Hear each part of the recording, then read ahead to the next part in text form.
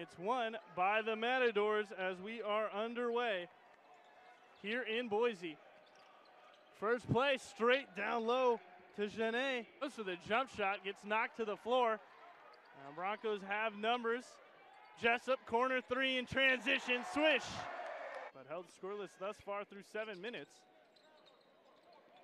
Hobbs, straight in, reverse layup is good. Baseline gets there, rejected once more. Lamine Diane. He's going to pull up. He's feeling it. Oh my goodness, Lamine Diane. George backing in. Kicking out Jessup. Straight away three ball. That's good.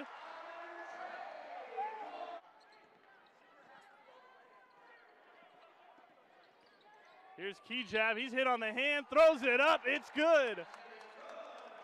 In the victory over UTEP. Jump pass Alston in the corner.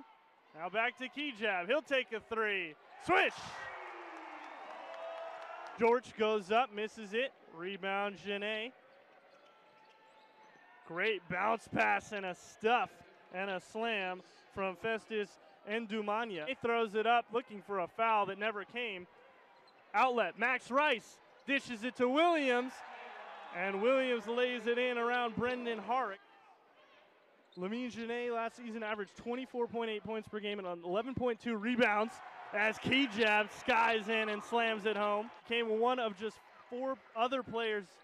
He became one of five players, I should say. He's the fifth on the putback slam. And with 13 10 left on the clock, probably too long before we see the reserves as Jessup again. Redshirt freshman from Anaheim finds his first points of the game. Hobbs down low to Williams. Contact from O and one. As Diane tried to size up George. That one's stolen by Dennis. He's got numbers. Lob to the rim. Kigab. What a way to get 30. Beautiful lob from Ray J. Dennis.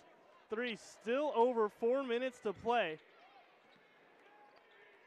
Gomez sizing up, pulling up, hitting just his second three. And 68, Broncos trying to break 100 for just the second time this season.